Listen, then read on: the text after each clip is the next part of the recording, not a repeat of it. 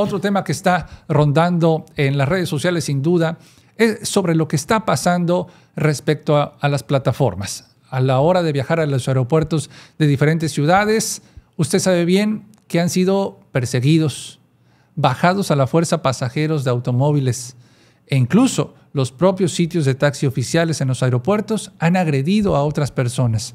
Esta situación ha colmado la paciencia de diferentes personas. Esta tarde, esta mañana más bien, el secretario de Marina, Rafael Ojeda Durán, ha emitido una información respecto a que está buscando tener acuerdos para ya finalmente lograr tener una estabilidad.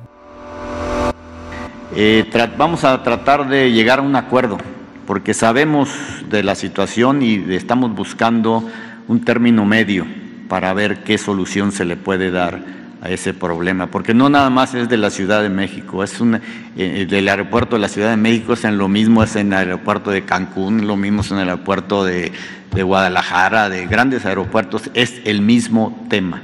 Entonces vamos a ver qué solución se le podría dar. Se están reuniendo las partes correspondientes y bueno, veremos qué solución se le pueda dar. De seguro a ti, Fernando, te habrá tocado que, cuando ya cuando fuiste al aeropuerto, pues pudiste llegar ¿no? En plataforma, pero no te pudiste ir a tu punto, ¿no? De regreso. La verdad es que no, no puedes eh, ya tomar un Uber. Como tal, pedir un Uber. Sí en la puerta, en la sala. Eh, saliendo yo, por ejemplo, normalmente siempre llego a la Terminal 2, que es de Aeroméxico. Pues en Yucatán quieres comprar un vuelo a, Ciudad de México, pues normalmente Aeroméxico es el que te da la mejor opción.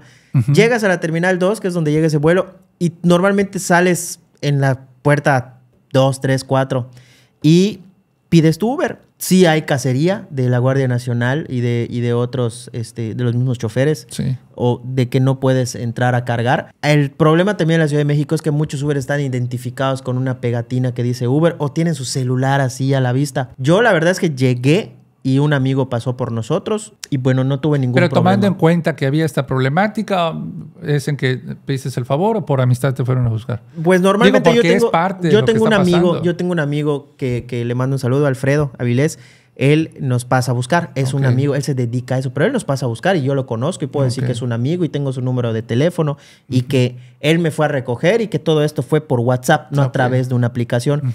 Pero si tú agarras eh, eh, el Uber, ya no, ya no puede ser así. Para empezar, te dicen que el, por mensaje el Uber te dice, ya no puedo recogerte, tienes que salir a cierto punto donde yo te puedo recoger o salte del aeropuerto. Entonces sí tienes que salir de la terminal 2. Lo mismo que pasa caminar, aquí en agarrar una rampa, bajar la glorieta y salir. El problema de la terminal 1 como la terminal 2, Rodrigo, es que si hasta donde tú sales que tienes prácticamente que salir del aeropuerto, del aeropuerto para tomar un Uber. Son, son zonas inseguras ahí por donde está el aeropuerto de la y Ciudad de seguro En, todos los aeropuertos donde hay esta problemática habrá sus zonas inseguras. Sí, pero ¿qué pasa cuando tú llegas a las 3 de la mañana, 2, de las ah. de la mañana? Bueno, incluso en de Mérida también. Y no quieres agarrar un taxi porque te van a cobrar un ojo, de la, de, un ojo de la cara. O sea, te van a cobrar tres, cuatro veces más. Hemos, todavía siguen esos conatos de, de, estafa, esos, esos intentos de estafa a extranjeros o gente que